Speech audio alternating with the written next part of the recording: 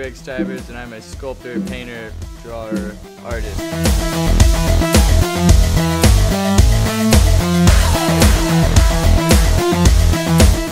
Well, I've been drawing since I was a kid, so really just kind of came natural. I always wanted to do cartoons as a little kid, and then just really uh, developed it after college.